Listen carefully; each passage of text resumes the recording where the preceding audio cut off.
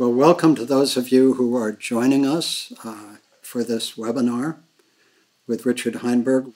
My name is Michael Lerner, and um, Richard, welcome back to our ongoing series of conversations. Uh, this one you, is a collaborative conversation uh, between uh, the Omega uh, uh, funders for resilience work and the Post Carbon Institute and the Resilience Project at Commonweal, the New School, the Millennial Alliance for Humanity and the Biosphere, and the FAN Initiative. So uh, it's a little consortium of us that have joined together to, um, to welcome you. Richard Heinberg is a, uh, a, senior fellow in residence at the Post Carbon Institute. He's the author of about a dozen different books. Uh, from my perspective, uh, the Post Carbon Institute and its uh, website, resilience.org, uh, are one of the true class acts in the United States and around the world on the issues of the global challenge. And um, Richard, as um, is, in, in my perspective, one of the, the, the great intellectual forces uh, working in this field today. So, Richard, it's a great pleasure to have you with us, and um, uh, we'd love to hear your presentation. Okay, thank you, Michael. Thanks for that very kind introduction. So, um, uh, what I want to do over the next 40 minutes is uh, talk first about sort of the, the, the, context for what's happening right now that's got everyone's attention, which of course is the, the, the global pandemic. Um, uh, I, I, do want to spend at least half of, of my time talking about that, but, uh, but I think the context is really important because uh, I think in most people's minds, you know, everything is fine. We're just sailing on, and suddenly we're hit by this this bolt out of the blue, and um, and uh, suddenly normal life is over, and we we have to uh, get this thing over with so we can return to how things are supposed to be.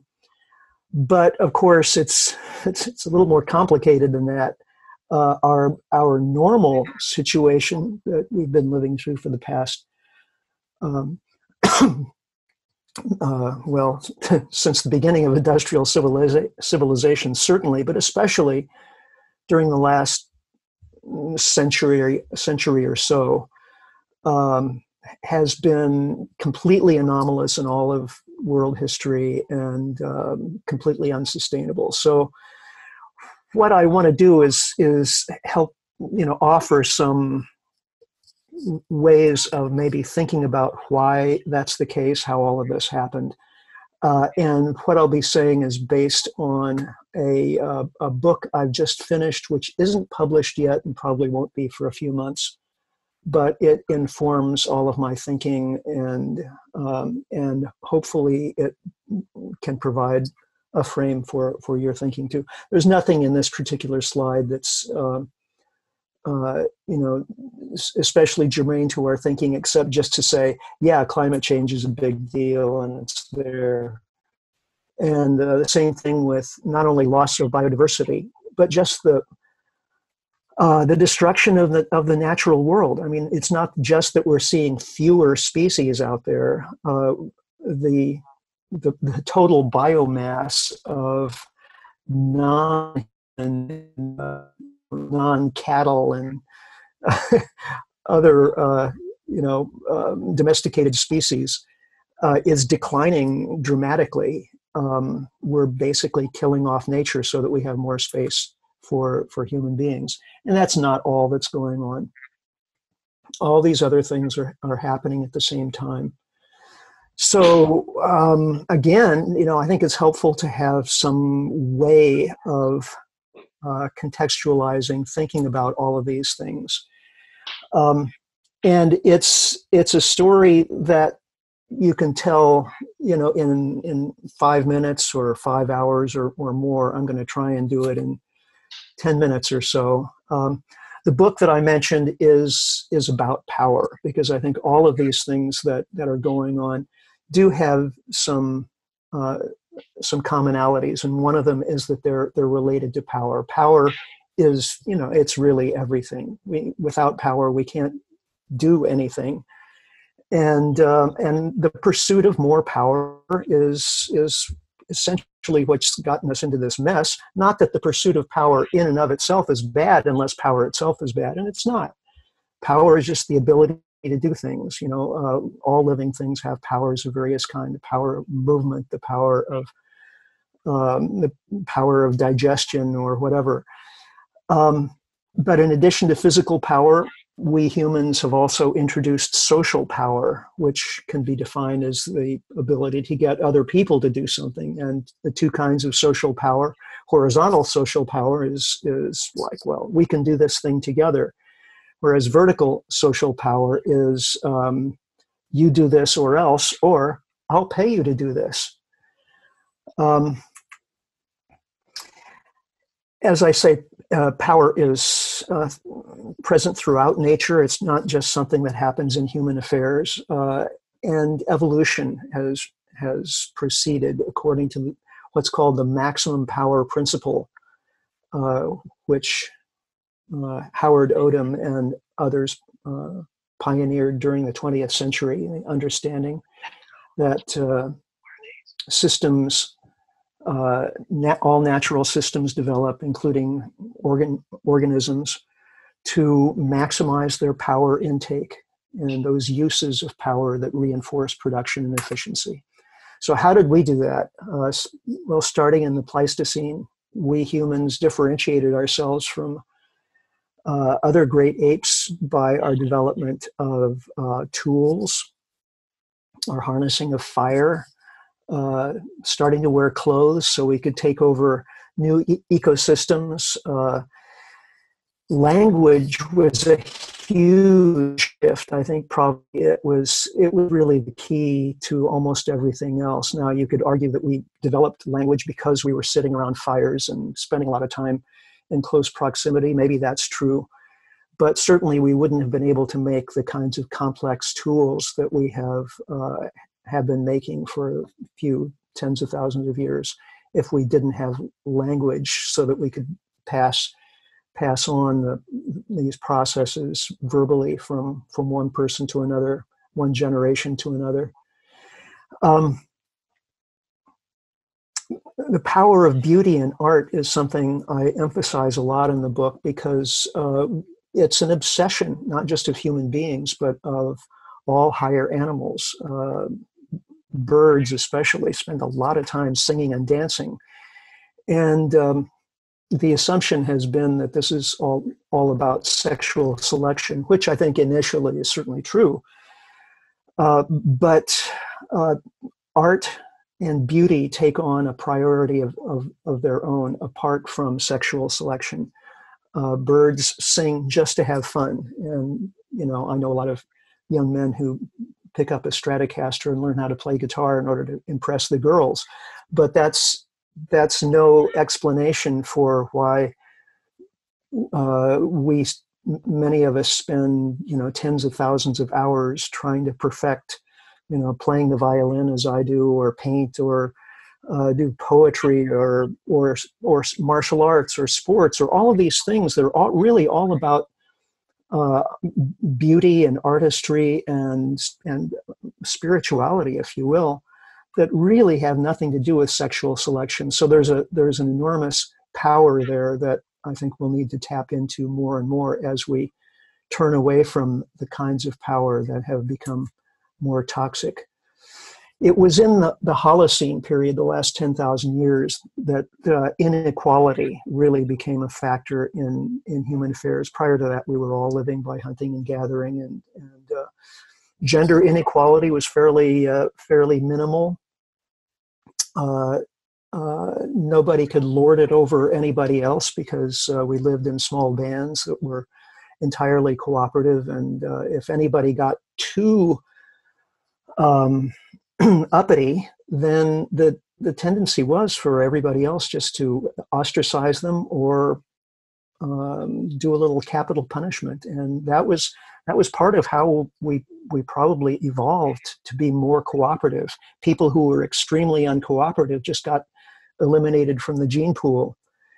Um, religion, in the sense of uh, uh, the the big God religions that uh, that implant a little watcher in our heads that uh, that supervise our our moral behavior. This is something pretty new in in uh, human history that started at, with the axial age, roughly 2,500 years ago. Hunter-gatherer spirituality had nothing to do with moral behavior. It was it was all about uh, contacting the powers of the nature spirits. Um, the uh, the development of money, which is really storable, transferable, uh, quantifiable social power, got got its start in in the Holocene with the uh, early states, um, and we begin to see the real pathologies of power that we're all familiar with uh, today, which um, I don't have to rehearse them with you. We all uh, we all know how power becomes a kind of drug, like like heroin or methamphetamine, where many people uh, become power addicts and and closely guard their power and uh, and use it in in perverse ways. Um, a useful concept along the way that I want to make sure we all have is the idea of the adaptive cycle. This is something that was pioneered by um, resilience practitioners in the field of ecology uh, in an effort to understand the, um, the response of ecosystems to disruption. So uh, when, when there is a disruption in, ecos- in an ecosystem, uh, well, that's that leads to uh, a period of recovery, reorganization, and then uh, growth and and greater exploitation of the resources of that ecosystem. Uh, the the uh, climax species appear, and we have a conservation phase where the resources are being used at a maximum rate. But actually, the resilience of the ecosystem has has declined because it's all at a um, uh, highest state of highest possible exploitation.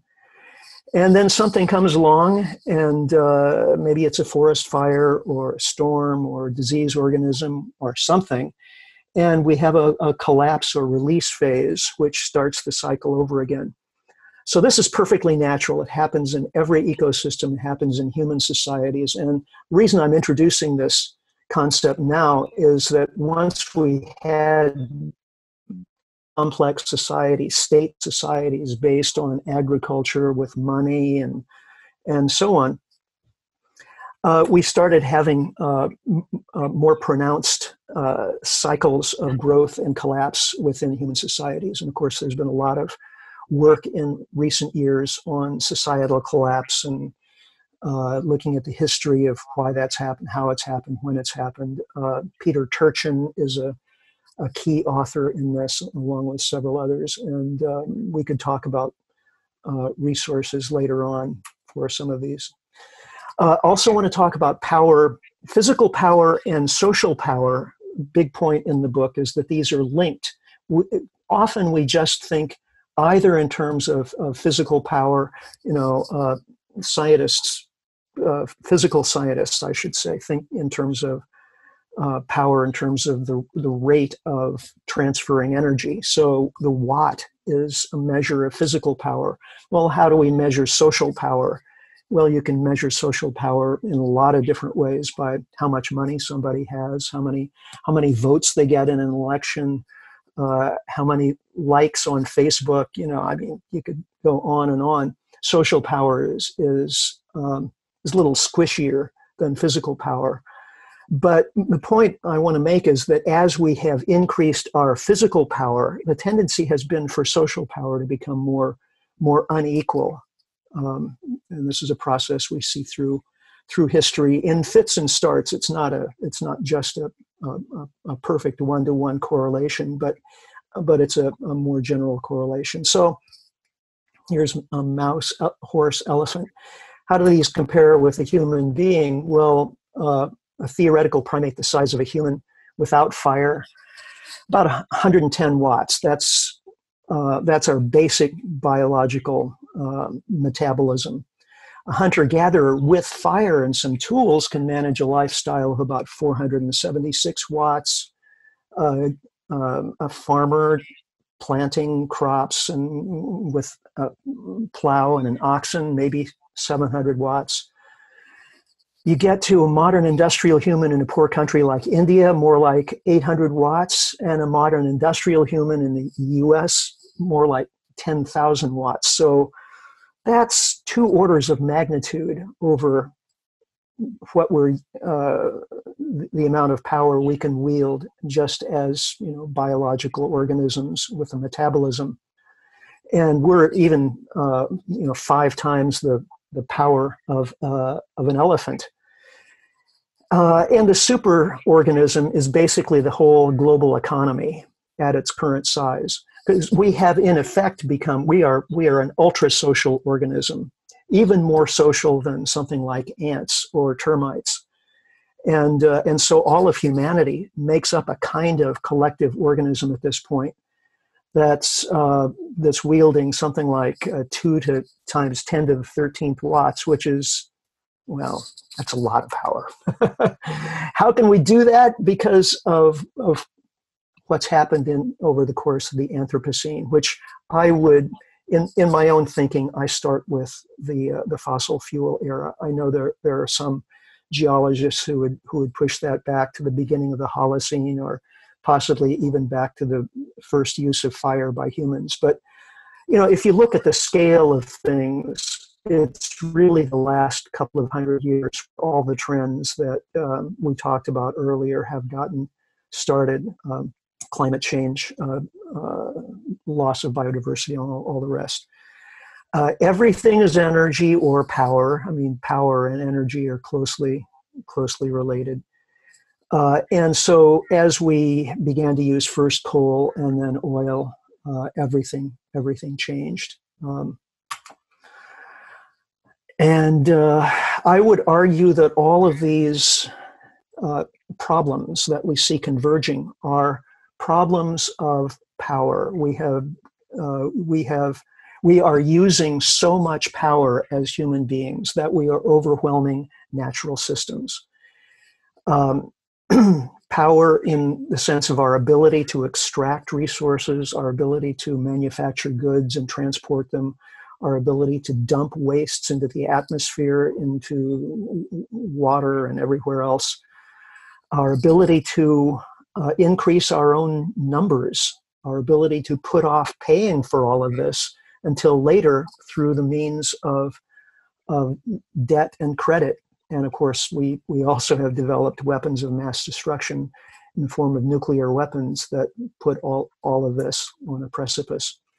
So, if that's true, if fossil fuels have played this uh, key role in the Anthropocene, uh, creating all these problems, is it just a matter of switching to renewable energy and we can continue using the same amount of power but of course, now it'll be green power, and we can just you know go about our lives basically the same way. Well, uh, it would be nice if that were the case, but it's really not that simple. Um, I worked for a year with um, a colleague, David Fridley, who's uh, energy analyst at Lawrence Berkeley National Lab, and um, we looked at the, the possibilities and the uh, roadblocks to a, a, transition to all renewable energy. And basically, what we found is that um, the only realistic pathway involves a substantial reduction in the amount of energy that we're using. We, we will need to power down uh, especially those of us who live in high energy societies like the United States, uh, by a significant amount. I mean, if you just look at our, our energy history, it's been one of adding more and more new energy supplies. Uh, and it, so far, it's that's the way it's been with um, solar and wind. You know, we've added them on top of natural gas, oil, coal, um, but we haven't really substituted them because it's it, has been impossible to uh, to increase the rate of production of uh, renewable energy fast enough. And our total energy usage has continued to grow. In fact, it's grown faster than our additions of uh, solar and wind. So uh, not only do we need to substitute, we also just need to reduce the amount of energy that we're, that we're using by a very significant amount, which will, of course, have knock on effects, source extraction, and all the other things we do. Are we capable of limiting ourselves in such a way? Well, um, the the argument is usually made no we're not you know we just uh, it's it, we're inherently incapable of self-limitation as as biological organisms you know we're subject to the maximum power principle and human societies only want to grow and especially this is true of capitalism. Well i in the book i i suggest that in fact self-limitation is common throughout the biosphere and uh, and human society is all through history and and um, the uh, the big god religions were in many ways all about self-limitation and introducing the idea of the soul and the health of the soul is brought about through service to others and, and so on uh, in up in, into modern times we have game theory looking at is n- nuclear dis- disarmament possible well yes it is actually and it's possible to game that out. So it's not that self limitation is impossible, but it is difficult in the current instance because of things like denial, optimism bias, uh, the Overton window, which limits you know what what we can talk about publicly. For example, the idea of economic growth, we just take that for granted. The idea of deliberate degrowth, that's outside the Overton window, at least in the United States. It's discussed in some European countries, but here, you know, it's just you can't talk about it. If if uh, Bernie Sanders or or uh, uh, any other candidate were to were, to bring up the possibility of degrowth, it would be dis- just dismissed out of hand. That's a crazy person. So, um, while it is possible in principle for us to to limit ourselves, it's going to be a, a very difficult job and in, so into this this is the context okay into which the the current uh, pandemic is is appearing. Uh, the con- that context is a highly networked world a global superorganism that only wants to grow with a high population density which makes transmission of diseases uh, m- much more possible and rapid and uniformity of our systems developed through globalization and um, uh, you know spread of technologies across the across the globe.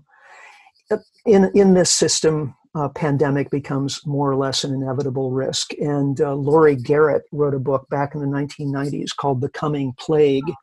In which she very eloquently made exactly this point. It was a Pulitzer Prize winning book it's well worth going back and rereading, even if you have uh, that book somewhere on your shelf.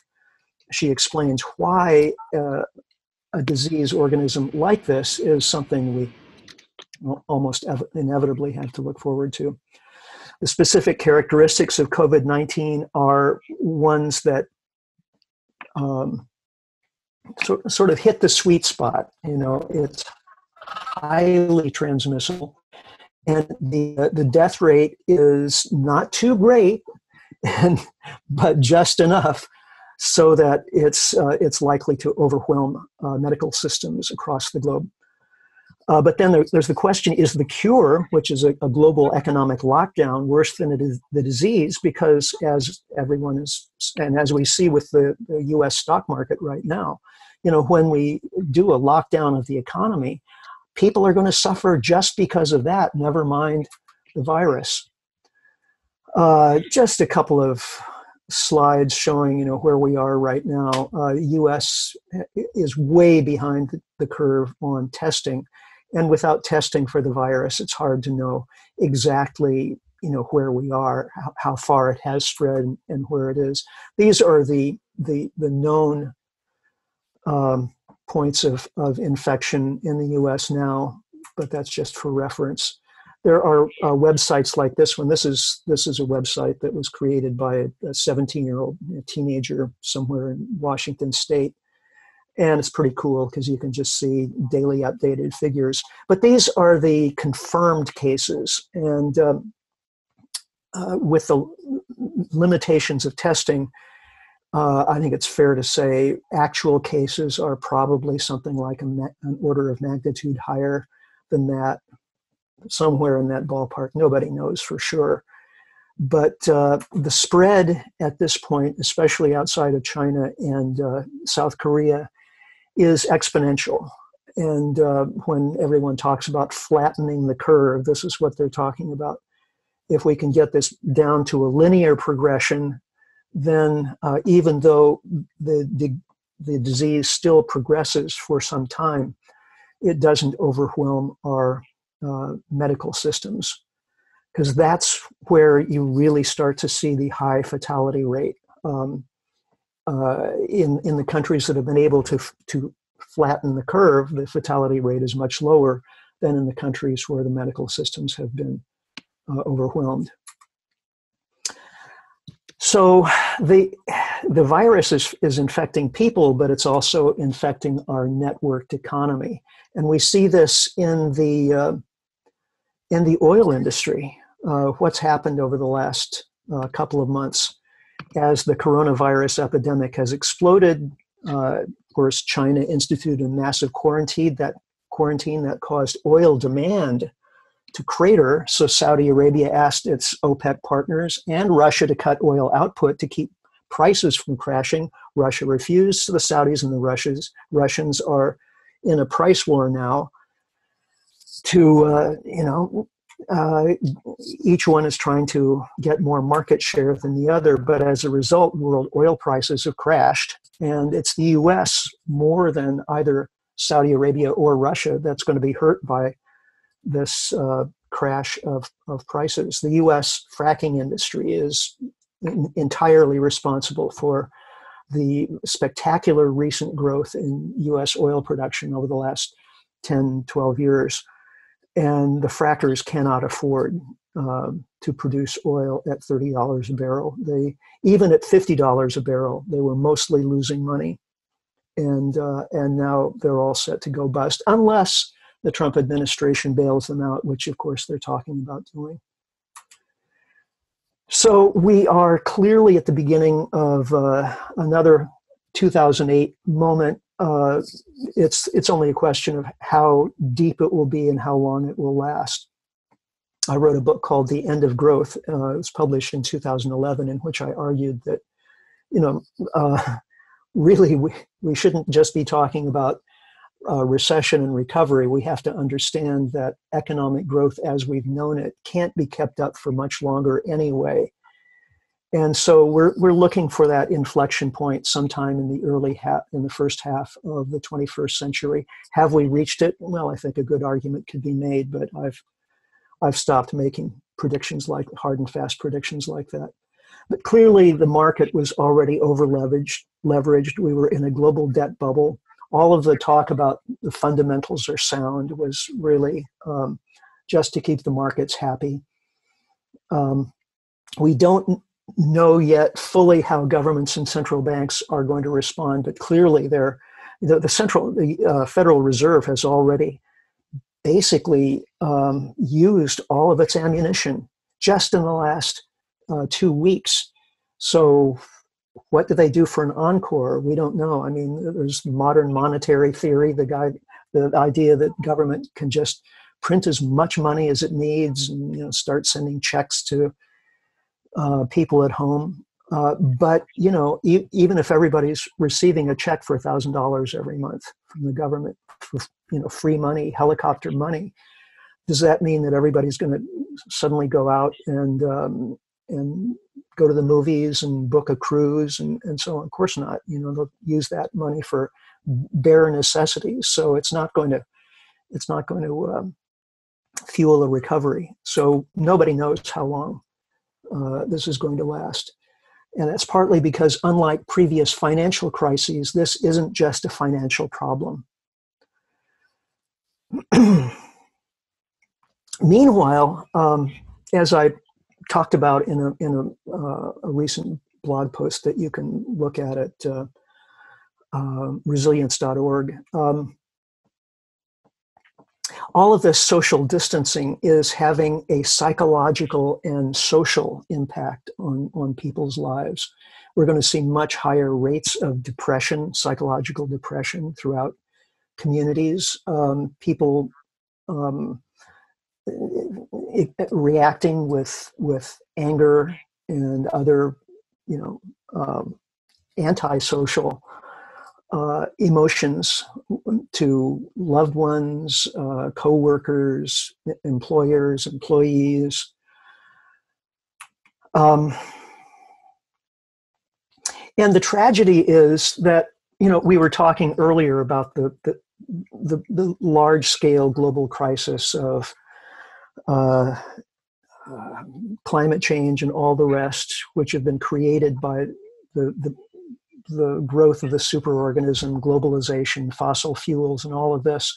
Well, if the solution is degrowth, getting off of fossil fuels and, and so on, well, how do you how do you do that in a way that doesn't provoke uh, some kind of social political crisis? Well, you do it by making people happy. You concentrate on what it what it is that makes life satisfying and worthwhile for people. An economy of happiness, you know, gross national happiness rather than gross domestic product, which means um, moving people closer together socially, uh, focusing more on cultural events, um, more farmers markets, fewer supermarkets, and, and so on.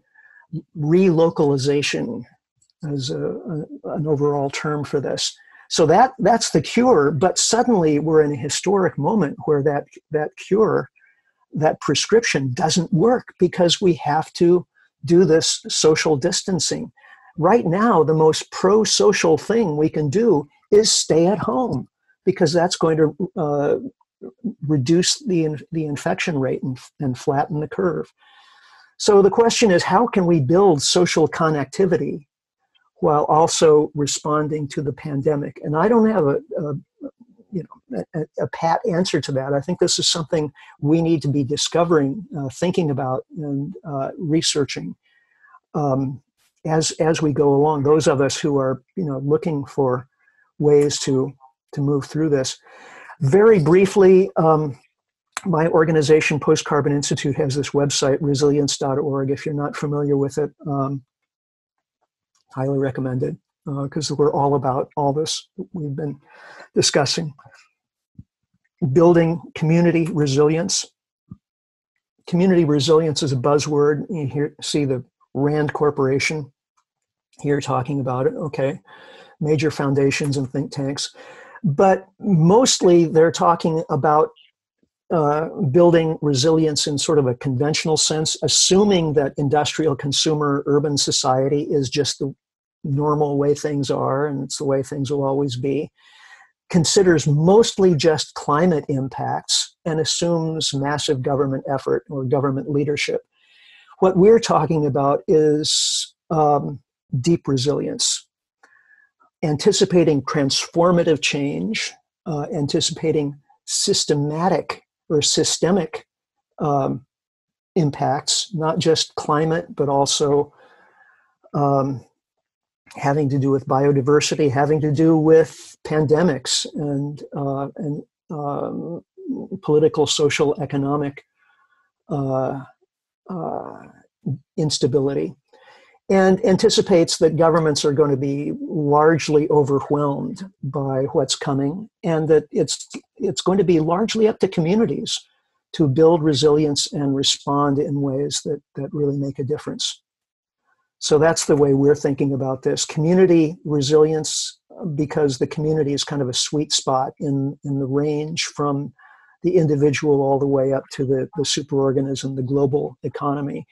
It's it, in the community where we can um, meet each other face to face, hopefully again in a few months, and where um, our voice makes a difference, um, where what we do really counts.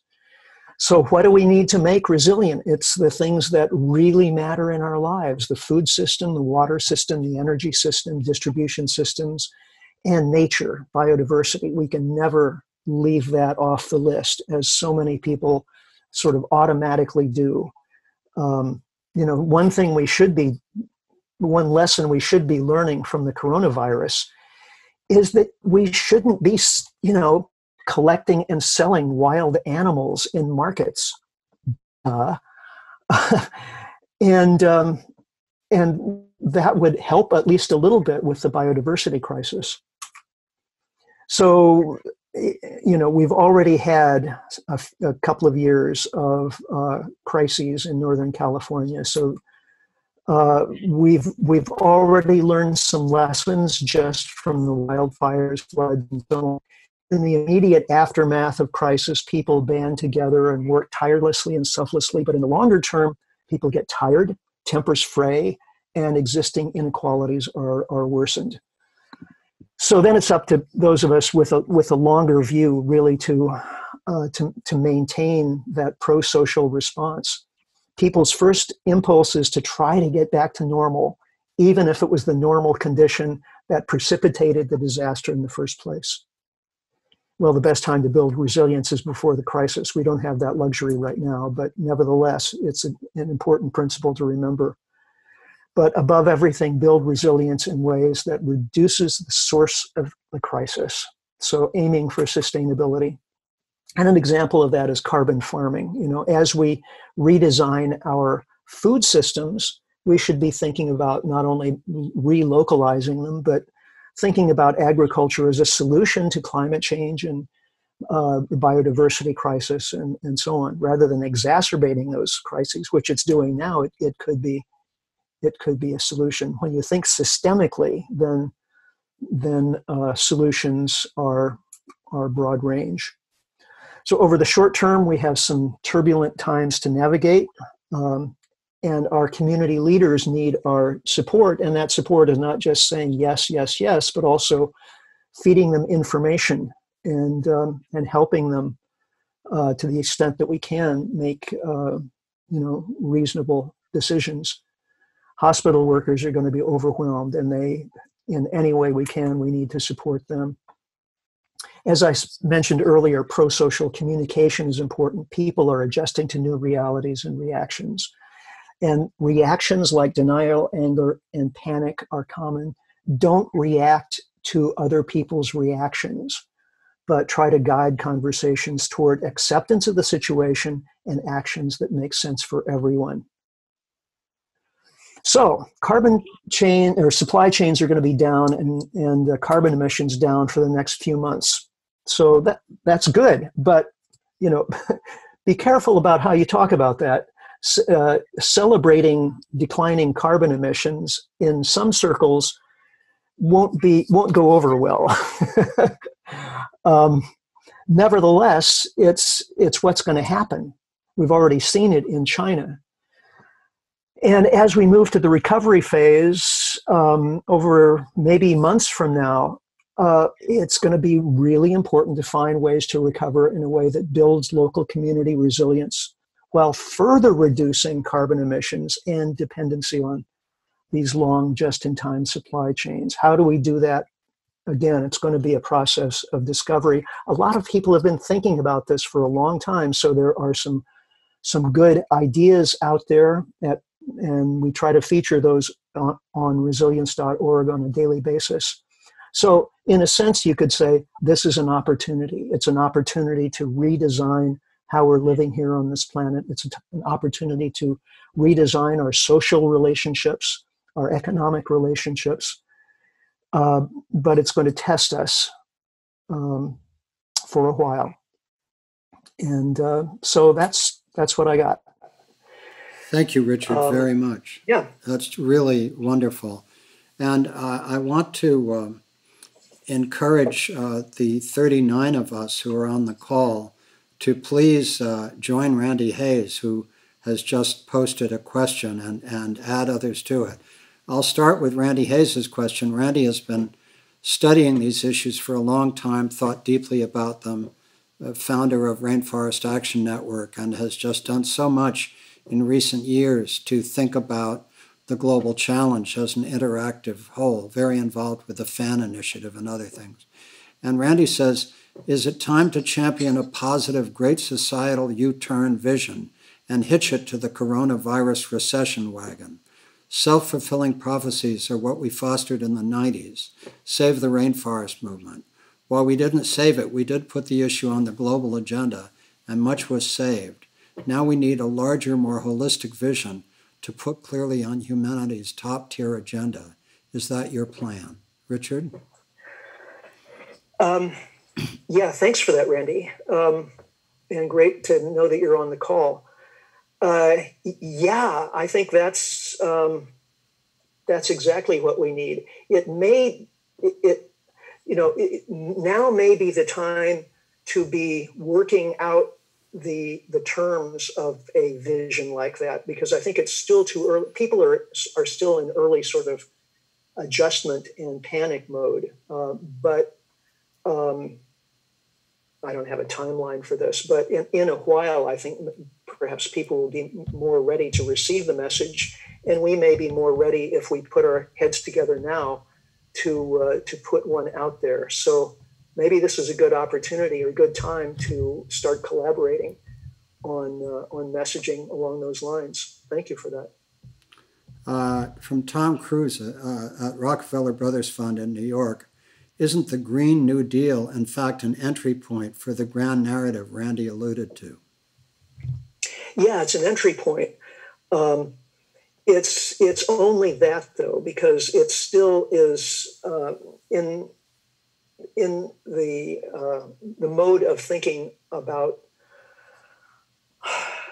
normal being a an industrial society based on constant economic growth, and you know degrowth is a, is a tough message to to sell in uh, in North America, and I wouldn't necessarily suggest that we we highlight it or headline it but nevertheless, I think we have to, uh, among ourselves, as we're as we're drafting uh, responses and messaging and so on, we have to keep it in the back of our minds that uh, that what we're really talking about is not just a shift to, you know, wind and solar power, but a uh, a, a fundamental rethinking of how we how we do our economy and so it's an entry point, and and um, and I, I agree with that, and I think you know opening up lines of communication with the, all of the folks who are thinking along the lines of Green New Deal could could be really useful to maybe um, you know strategize together. Richard, one of the things that has really fascinated me is how extremely diverse responses to uh, the coronavirus have been. So, for example, I ask everybody kind of a poll, what do you think of the coronavirus? You know, probably ask several hundred people. And I get a lot of people saying, you know, I really think it's overblown. It's not that big a deal. Um, but also, uh, if you look internationally, the polls on international opinions on the coronavirus are widely diverse among different countries and different cultures. Uh, the, the bubble that most of us live in, the kind of blue environmental, social justice, equity bubble, uh, we tend on many issues to be focused on fear. Uh, you know, the, the, that's our kind of profession. So the Y2K thing is a perfect example of that and of course climate change and all the other things. So we have a, a collective bubble of fear. But uh, if you look, uh, there was a, a, study done recently of the difference between Republicans and Democrats about the uh, coronavirus. And uh, Democrats tend to be much more sure that this is going to affect somebody close to them than Republicans are. Uh, there are also tremendous personality differences, even within the progressives. People who are just characterologically optimistic tend to be optimistic. People are who are tend to be fearful tend to be fearful. So I'm just wondering. I mean, clearly the presentation you've done is about the science uh, of where we are and the whole global challenge. But it's so easy for us to assume that everybody is in the same fear bubble that we're in, and that around the world people are looking at this. My brother and his wife just came back from Vietnam, from Hanoi, uh, on a business trip. And uh, there, uh, people, for example, when they wear masks, they wear them in order not to be a carrier to other people. Mm-hmm. And, you know, so in, in more pro social cultures, this is held in a different way. So I guess I, that, that what I'm getting at is uh, as we look at our view of the science and our interpretation of it, which trends toward our collective uh, subcultural view that everything is to fear, uh, is there some possibility that we are missing other ways of holding this, mm. both within our country and around the world? Right. Um, yeah. Um, it's, well, first of all, um, messaging on this is, is tricky because um, one doesn't want to provoke too much fear. And some people have very rational minds, and it's just tell me the facts, and I'll make the decisions accordingly. And other folks, you know, as soon as things get a little scary, it's you know emotions take over and it's off to the races. Well, with with this situation, the the actual facts are, you know, as, as I said earlier, it's highly transmissible.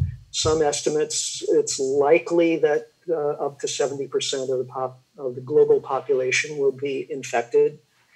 If it does have a 2% uh, fatality rate, then we're talking about you know tens of millions of, of fatalities. But if you lead with that, you know, a lot of people just freak out and, and shut down. But that's why um, it's this needs to be taken seriously. The, the strong likelihood is that um, someone you know um, will be not just infected, but will will um, will be one of those fatalities. No, I agree with that, and and I didn't come at this from, right. as you know, for, I share your analysis deeply. I just.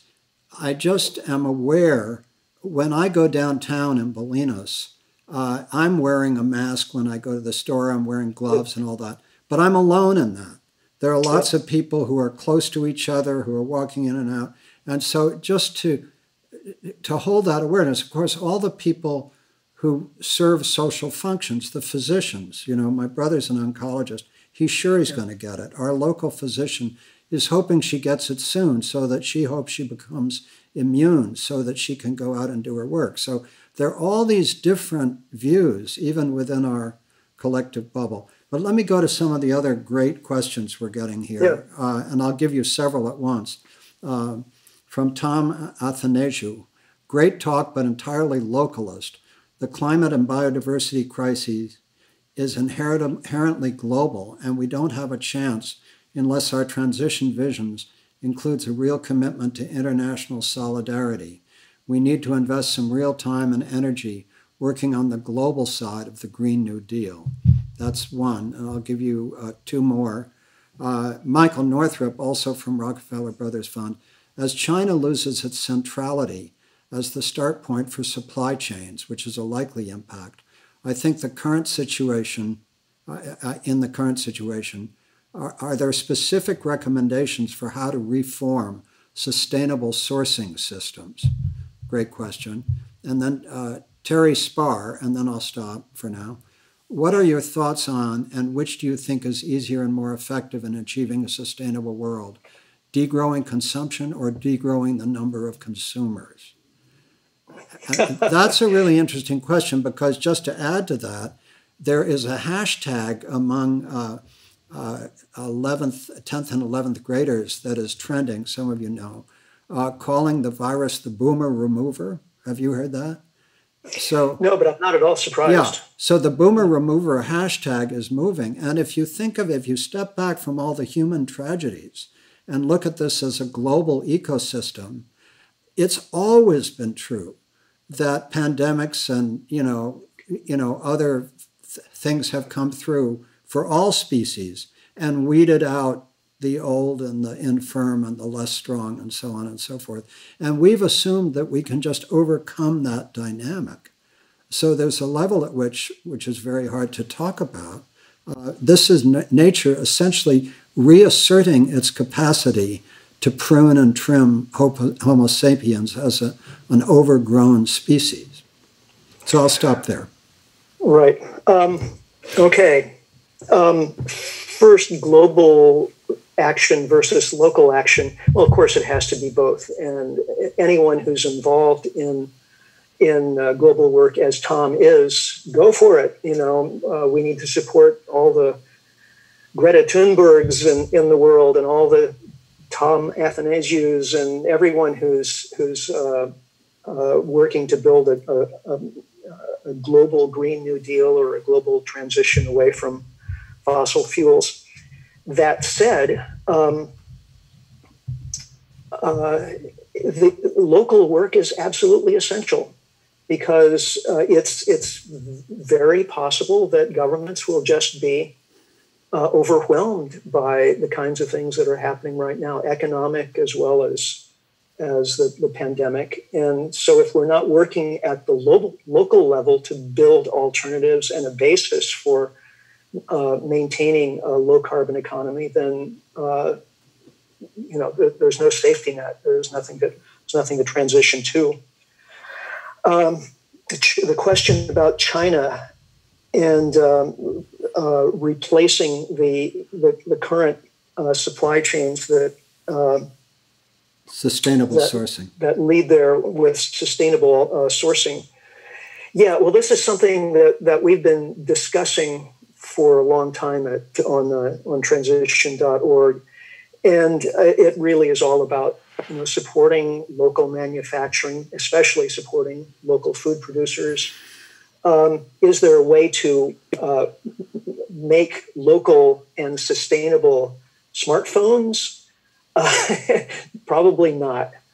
Um, and there always has been trade, and there as long as as uh, we're around as an organized species, there, there almost all, I'm sure there will be uh, trade in the future. But the, the, the uh, amount of long distance trade in terms of tonnage is almost certainly going to decline. So instead of uh, shipping, you know, massive amounts of raw materials and uh, you know, clothing and food across oceans, uh, it's uh, we need to focus on trade of just the things that are that are uh, easier and cheaper to to move and and make the rest where we are. And again, that really means supporting supporting your local fill in the blank.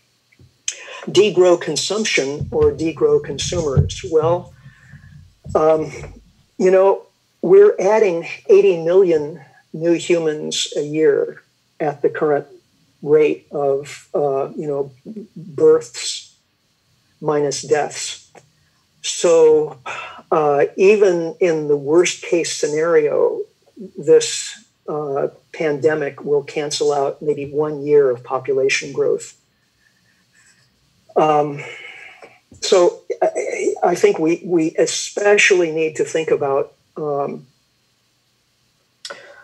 uh, population uh, uh, management in uh, poor countries with high population growth rates because those are the countries where you know eh, eh, many people are coming to the world who are going to have no opportunity for education healthcare and, and so on.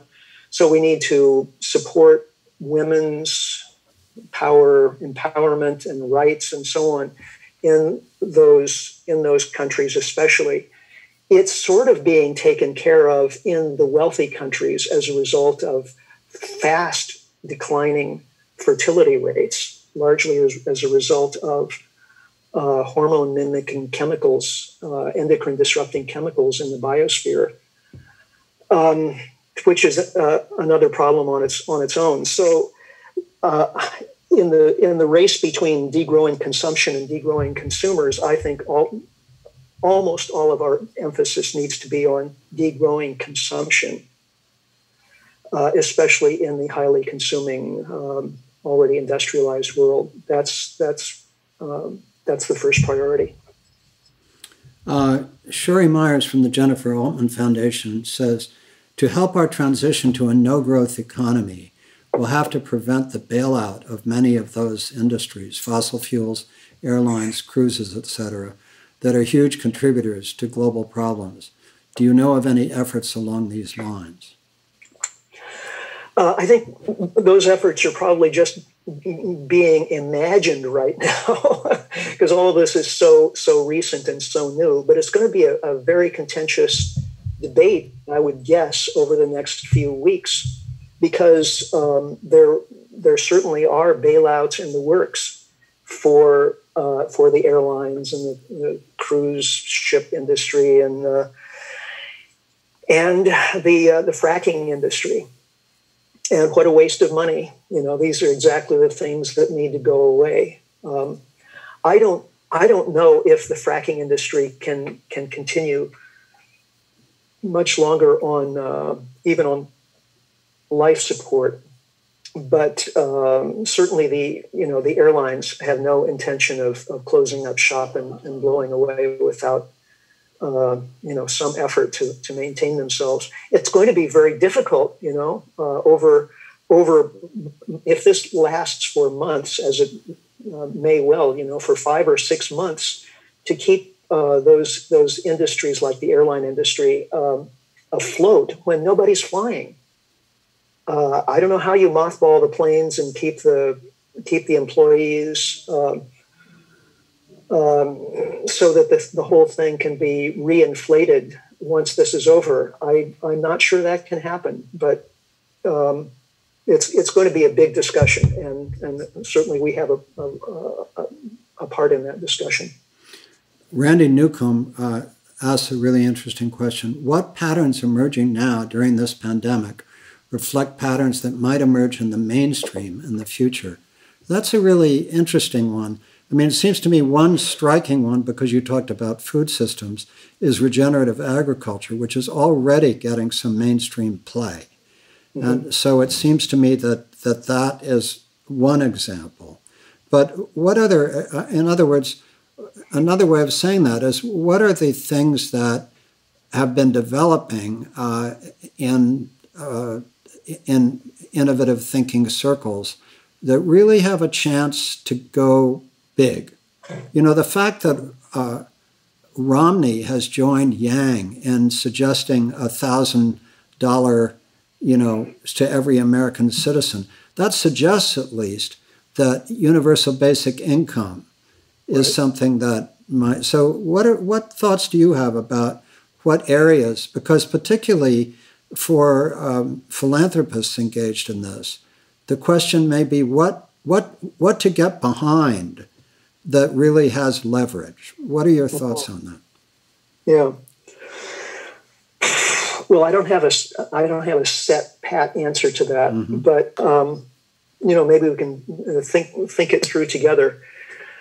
Um, there are some uh, some ideas around uh, seeding local manufacturing with uh, designs that can be implemented in you know within a local context uh, using 3D uh, printing technology and um, I mean you can build 3D printers with 3D printers using using designs that are passed uh, through the internet. Um, I'm actually more interested myself in uh, in low tech alternatives to uh, ways we currently do things using you know globalized, highly industrialized, energy intensive systems. And there's a um, there's Low Tech Magazine, which you can find on the internet, um, uh, which is uh, the project of a, a, a Dutch energy uh, analyst working in Spain. But it's, it's, it's wonderful stuff if you're not familiar with Low Tech Magazine. I suggest checking it out. So, uh, yeah, the example of carbon farming I think is really important. Um, what are some others? Can you think of any? Uh, we'll add those as they show up here. Randy Hayes is back with this question Is a continental network of bioregional economies where we are 90% self reliant continentally in food, clothing, shelter, and low impact comfort items a solid vision or too hippy dippy? Every continent can see such a level of self reliance. Foreign aid could be to help other continents get more self reliant. Right. Um, yeah, I think that's a that's a, a, vision maybe whose whose time has come. It was uh, bioregionalism, of course, was uh, widely discussed in the 1970s and 80s, and maybe early 90s, and then kind of went dark during the age of, of globalization. But part of the problem we're seeing right now is with this highly networked global industrial system. Uh, if um, if if one of the nodes of that network, like China, uh, suddenly goes down, it affects the entire system. Now, if we have a, a, a more more localized bioregional uh, uh, way of organizing uh, economies, that doesn't mean we get rid of problems, uh, but we we are no longer in a situation necessarily where a problem in one place means the whole system is at risk. So it's inherently more resilient. That's that's the the, the takeaway. Um, localization is inherently more resilient than, than globalization.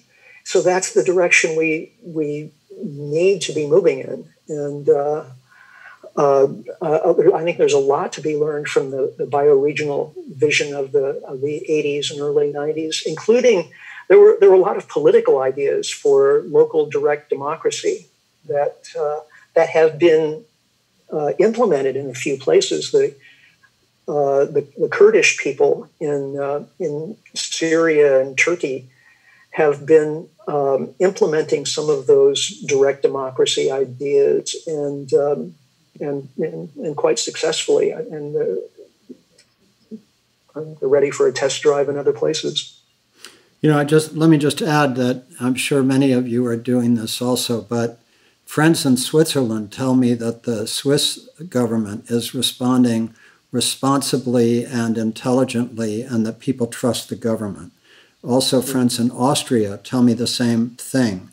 Uh, so there are there are countries. It's nice to remember where there's a sense of uh, of solidarity, and I think that's true in some of uh, some of the Asian countries, although it's more complicated.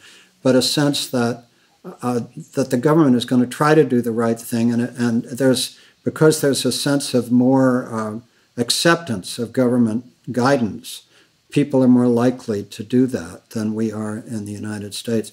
By the way, Randy Hayes came back when we were talking about uh, uh, opportunities that might work.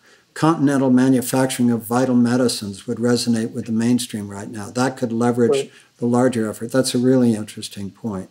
Uh, yep. Someone named XRLA says, um, Do you see food shortages in the coming months? If so, how can we increase food security? Right. Uh, well, I don't, you know, I don't have a crystal ball that goes that far, but um, you know, everyone I know who has a garden is putting in a little extra this year, and mm-hmm. I think mm-hmm. it's it's really smart to do that. Mm-hmm. Um, it's it's smart anyway, but um, uh, rationing may very well happen in terms of, of food. Certainly, it's going to be happening in, in terms of medical care. We're already seeing that in, in many countries where medical care is, in effect, being rationed, whether it's called that or not. Uh, and so I think we we are most likely going to see rationing of other things as well. And rationing, in most cases, is is a good thing. It's it's uh, society figuring things out together for the good of everyone. And of course, the classic example is food rationing in Britain during and immediately after World War II. And I think it went on until something like 1954 or something like that. And people were better nourished in Britain during food rationing than they were either before or after. So, um, and there's an excellent book which I would love to be able to hold up so you could see uh, by Stan Cox called Any Way You Slice It, which is a a look at historical look at rationing in various societies and times through history. And we, we already are rationing a lot of things. As he points out, it's uh, the food stamp program is, is a form of rationing, for example. But um, we could be doing a lot more, and I suspect we will. Uh, Richard, you've thought a lot about peak oil and uh, how it turned out not to be what many of us anticipated it would be. Uh, and um, and I've asked you about that before. Um, uh, and now, uh, of course, we have this glut of uh, oil descending on a, a contracting global economy. Um, and I wonder, just from the perspective of now, um, and all the experience you've had thinking out the peak oil hypothesis and uh, where it went and where we find ourselves now. What do you see the, the future of, uh, of carbon energy being? Right. Um, well, this what we're seeing right now is a is a catastrophe for the, the global oil industry. Um, certainly for the fracking industry, as uh, in the U.S., as I've said, also uh, tar sands uh, producers in Canada uh, can't make a profit at thirty dollars a barrel. Some of the speculation I've seen is that uh, world oil prices could fall into the twenties and maybe even lower. Um, and if that happens for any extended period of time, um, you know, the, the, the, industry will be running on fumes. Couldn't happen to a nicer industry, of course. But um, but what does uh, it mean? Coal, it, what does it mean that it would be running on fumes? In other words, what do you see actually taking place? If well, yeah, I think uh, the production would continue only where it's actually subsidized by government. And it wouldn't make sense for government to subsidize production at any higher rate than actual demand. Um, so if demand is is cut in half, which is which is entirely possible over the next couple of months, um, then um, even if even if government is subsidizing companies, actual production, I think will will decline very substantially because uh, there isn't that there aren't that many places to store the stuff. You know, once all the oil tankers are filled, and uh, and the the land-based storage capacity, and it's not that much, then uh, the producers really have no no other alternative than to just shut down production. So, given that and, climate change is the elephant in the room, right? And we're talking about potentially a 50% decline in oil consumption, who knows, right. or whatever. Um, and we're also asking ourselves where are the opportunities in this moment? Uh, I wonder, uh, um, I wonder what your thinking is about where the opportunities are with respect to getting some real policy change that would affect climate change. Right. Um, well, you know, keeping production at that lower level would be enormously helpful. Um, we're heading into the summer months when carbon emissions are down uh, traditionally anyway. And now we have the added uh, impact of, of declining oil consumption for airlines and, and commuting and, and everything else. So, um, you know, what happens when we start trying to go back to a normal economy? Uh, then push, you know, that's when push comes to shove in terms of uh, our our argument that we should continue leaving the oil in the ground. Um, and that's that, that's the time when we'll be needing to have that uh, that debate. Right. If if we go to uh, the work that you and Asher Miller do at the Post Carbon Institute, and your focus on uh, community as the sweet spot, in other words, there's local resilience. There, I mean, there's family or personal resilience. There's community resilience. There's state, national, global, however you want to count. And as you've said, you see community resilience as the sweet spot because it's the place at which we actually have agency. We, we right. know it's, it's more than personal resilience, it's less than state or national resilience. We don't necessarily have much agency at the state or national level, but at the community level, we have real agency. So, how at post carbon do you see your messaging going forward to communities? And what are you hearing from the communities you're involved with? What is, what is the flow of information that's taking place at the Post Carbon Institute and its extraordinary website, resilience.org? Hmm. Yeah. Well, what we're seeing now is um, people in our networks, people we're, we're in touch with, are engaging with their uh, local leaders. Um, and of course, local leaders are kind of uh, stressed and inundated right now. So one doesn't want to overload them with information, but nevertheless, um, if if it's framed in a way that's that's helpful in uh, you know aiding them in in processing what's important, what's less important, making suggestions about ways of actually solving problems, uh, our experience is that there's there's real openness right now. Um, and our so, colleague Nate Hagens, who was on your board and is such a contributor to resilience thinking, he's been going around talking to state and local leaders and, and getting a real sense of, of resonance. Um, That's right. With with this message as well.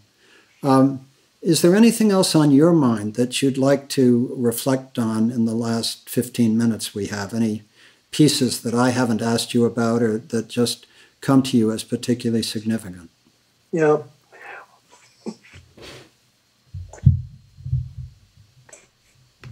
Well, I think tending to our own uh, personal psychological resilience is real. It's it's always important. You know, you can't do the kind of work that that you and I do, Michael, without you know taking care of ourselves so that we can take care of those those around us. Uh, but this is this is going to be a, a, a difficult time uh, in terms of um, social isolation, provoking depression, and a sense of being you know cut off and watching things come apart at a distance and not being able to do anything about it. This is this is a recipe for difficult times.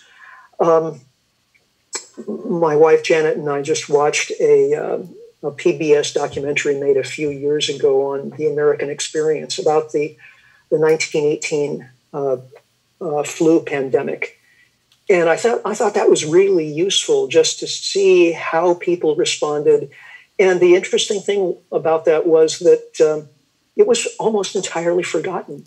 People stopped talking about once it was over, people just stopped talking about it it's not that they the, the memory wasn't there, but you know the country went into the Roaring Twenties, uh, and um, so that that tells you something about how we how we respond to these these kinds of things. We we we try to deny as much as possible, and then and then we we try not to learn from it either. yeah. So yeah, go ahead. You know, a few things have occurred to me. One is um, I'm thinking of writing something called the the pandemic of loneliness, yeah. because um, you know, for example, when they shut off nursing homes to all outside visitors, they may stop people from dying of the flu, but people will die of loneliness.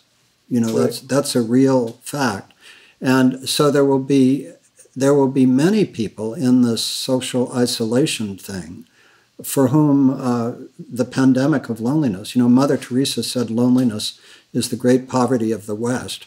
And so there, there are many people for whom that's going to be a real issue. Um, the other thing that's really striking to me is the only collective message is wash your hands, social distance, you know, good hygiene, uh, shelter in place, uh, everything else. There is no discussion because I've spent uh, 40 years in integrative health of all the things you can do to increase personal and family resilience. Right. I mean, starting with you know good sleep, stress reduction, exercise.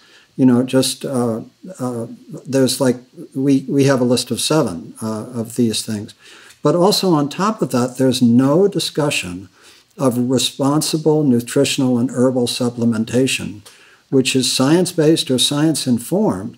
And that's very active on the internet, people trying to figure those pieces out. So it's just fascinating to me that we rely exclusively on the sanitation things and no discussion at all of personal and family and community intensive health promotion and, and what it means to create community in a meaningful way that overcomes the social distancing thing, uh, as well as herbal and nutritional supplementation.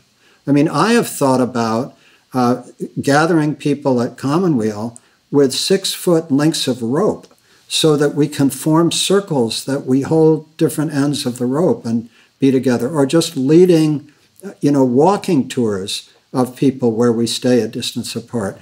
Just all the creative ways that we can overcome social isolation and be careful. And it seems to me that when we think about community resilience, that messaging about those kinds of things, as well as all the good things about, you know, uh, uh, you know, uh, gardens and everything else, should really be part of what we are offering people. Right. Yeah. Um, I've, I've seen this discussion of vitamin C and vitamin D as being being important uh, nutritionally. I think getting out in nature is something we can still do. I mean, it's that's yeah. there's there's no reason uh, nature is not trying to infect us per se. It's only you know via uh, social contact, close contact with other other human beings. And how can we maintain contact without being physically close? I mean, we do have at least for now these these tools of uh, social media, the internet. Internet, of course, we're we're doing this this discussion right now in cyberspace. Last night, my wife Janet and I. Uh, called up uh, some friends of ours uh, that we often meet with on Sunday evenings. And rather than getting together in person, we chose a, a short movie to watch together. Mm. And so they, they were streaming it in their house. We were streaming it in our house. And then we got back on the phone afterward and talked about it. And um, it wasn't quite like being together, but it, it sure was a heck of a lot better than, than not having that contact. Yeah. So we can be imaginative. We have two more great questions from Michael Northrop and Tom Kruse. Uh, Michael Northrop, uh, following on Michael's question, Richard, do you have an agenda of recommendations for local governments? Cities are well organized and quite open minded on these issues, more so than other levels of government. They are also the frontline responders for COVID 19. Can we use this openness to help them marshal the big transition we need? it may be a good time to develop and share those recommendations. That's mm-hmm. one. Mm-hmm. And from Tom Kruse, uh, a thought from Barry Lynn the jump from current highly concentrated and interconnected systems to localization is huge. There will be intermediate steps. Already the airlines are asking 50 billion. Lynn argues for bailouts of key industries, which will happen, but in a way that puts us on a path to break up monopolies and redistribute industrial dependencies. I mention this to begin to imagine the kinds of policy fights we will face. Those are both really beautiful questions. Thoughts yeah, they are. And, yeah. um, you know, I don't have, they're almost more comments than questions. I, I wish we had a set of, of uh, you know, recommendations for local leaders, and, and that's a great idea. I think we, you know, I, I'm going to make it put it on my to-do list this week to, to start filling filling that in. And uh, what about the, the Barry Lynn uh, point about, uh, you know, uh, the bailout of key industries in a way that puts us on a path to break up monopolies and redistribute industrial dependencies? Right. Yeah, I mean, uh, breaking up industries takes takes capital too. So, um, is fifty billion dollars enough money to uh, pay for mothballing all those airliners and and uh, retraining the uh, all those? Uh, I'm sure hundreds of thousands of, of workers. Maybe, mm-hmm. you know, it'd be better to do that than than just uh, you know recapitalizing the the the corporations themselves. Mm. Richard, as we last five minutes or so, I I found that when I read in this field, that you have read everything before I got there, and um, so if you were to offer uh, a short list of I don't know what three to five authors whose uh, work you find particularly seminal in this field, who would you name? Oh gosh, you know, um, it. The, let's see. Um, uh, I mentioned Peter Turchin. Uh, he he has several books that are really helpful for understanding uh, societal evolution. Mm-hmm. Um, so, when, going back to the discussion at the beginning of our um, thing, um, somebody who a couple a couple of authors that I find really really helpful and interesting. William Ophuls. Uh, yeah. I have several of his books here. Terrific writer, and these are very small books. Would you name you his, his book? We can't quite see it. Uh, this one's called Apologies to the Grandchildren. Right. With reflections on our ecological predicament, its mm-hmm. deeper causes, and mm-hmm. its political consequences. I wouldn't necessarily re- recommend starting with this one, that this is just the one that came to hand. And then uh, David Fleming, um, who's no longer with us, British. Uh, uh, I guess he was trained as an economist, but uh, um, a great ecological thinker, and and uh, his book "Surviving the Future," I think, is must reading in these times, and it, it talks about the, the transition, you know, away from fossil fuels to whatever's next, not just in technical terms, but in real human terms about how, how much we've lost in terms of, of community vitality and celebration and and so on uh, in, in building our, our modern economy, and how in transitioning to what's next, we need to recover all of that um, richness and beauty that we traded away. And I actually I make that point in the last chapter of uh, of my book Power as well, that um, we. In addition to being power junkies, we humans are also beauty junkies, but the kind of beauty that the industrial system has fostered is uh, is is kind of a a, a sad uh, uh, counterfeit of the beauty that we human beings really are capable of. And and as we move away from the employment economy, where we're all just useful cogs in the great wheels of industry, um, we should be imagining, you know, what life can be like if we're if we're turning our attention on, and our efforts on a daily basis toward making life happier and more beautiful for ourselves and for our communities. The, the possibilities are endless, and there are plenty to keep us engaged for many, many generations to come. And how beautiful life could be if that were our main focus. I, I completely second your recommendation of uh, David Fleming's work. And in addition to Surviving the Future, his, his masterpiece from which Surviving the Future derives, called Lean Logic. And there it is, right there. And, and um, Richard, you've said you keep it nearby, and your quote about it is extraordinary. But he really is a truly seminal thinker. And so right. I do agree, if people take no other single recommendation from this in terms of books, that Fleming's work, he was a founder of the Green Party, I believe, in, in the UK. He's That's right. absolutely seminal figure to that whole cluster uh, in the UK of uh, the transition towns movement, of uh, Jem Bendell and deep adaptation of um, uh, the Dark Mountain Project. Um, there's a whole cluster of really creative thinking on this in the UK.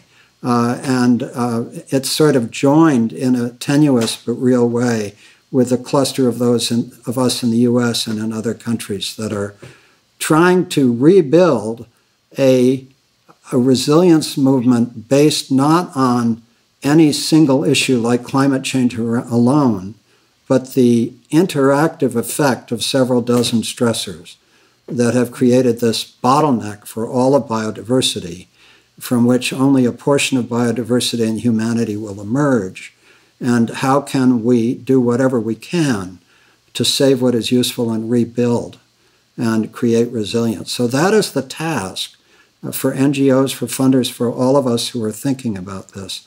And what a wonderful way to begin our seminar series on this work uh, with you, Richard. Uh, we are deeply, deeply grateful to you, and we will be back in touch with any of you if you want, uh, if you're in the extended funder community and want to join us, uh, the website is omega.ngo, and we'll put you on our mailing list. And if you want to join our effort to raise the NGO community up, uh, we have resilienceproject.ngo, where we feature the work of many uh, colleagues who are doing extraordinary work of which the Post Carbon Institute and resilience.org is really one of uh, the, the high points. So, again, Richard, thank you, and thank the 36 participants on this call who stayed with us for uh, 90 minutes. So, there must be some interesting people. Uh, so, uh, we're deeply grateful to you. And, and, thank you, Michael, for your wonderful work uh, over these many years of such uh, such compassion and uh, wisdom. And uh, it's just a, a, a, pleasure and a delight and an honor to, to work with you. The honor is deeply mutual, and the honor with all of those who've joined us on this call. Thank you all. Yeah.